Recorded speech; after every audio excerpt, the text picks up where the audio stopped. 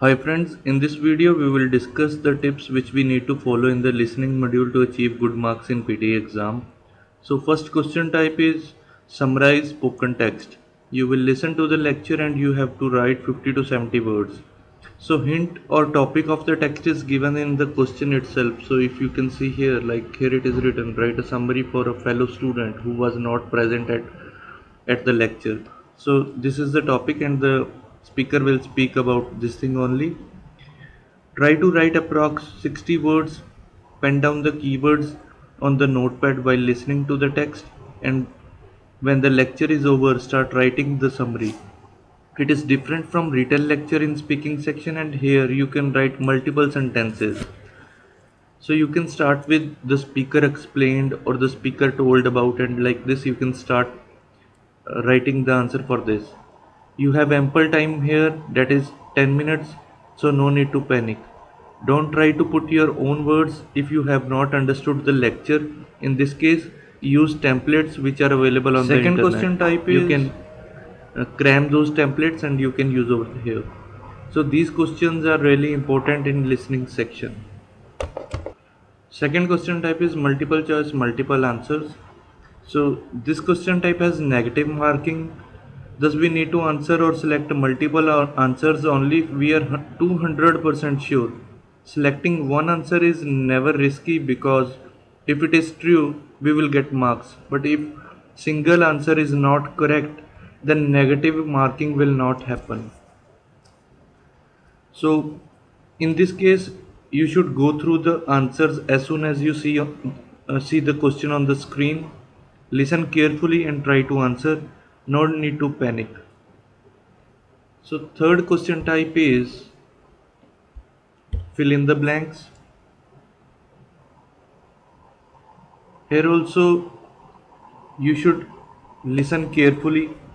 Keep your eye on the screen where the speaker is reading. Pen down the missing words on notepad without seeing notepad as you can miss the fill in the blank while you are looking at the notepad so you have to write without looking at the notepad most important thing is that spelling should be correct otherwise your answer will not be marked Fourth question type is highlight correct summary. So in these questions, all the answers you will see here will be appear same, which makes high chances of opt opting wrong answers. Correct answer can easily be identified if you pen down the keywords on the notepad. You can easily identify the option which, which contain all the keywords which you have written on your notepad and you can easily identify the correct answer. So Fifth question type is multiple choice single answer. So here read the question and answer as soon as you see them on the screen. Listen carefully and select the answer. Sixth question type again is select missing words which is similar to this fifth question type only. So you will listen to the speaker and you have to answer the As I mentioned, you have to opt the answer which you feel comfortable or which you feel that it is correct and it can be replaced by the uh, it is it is being replaced by the beep in the uh, in the lecture itself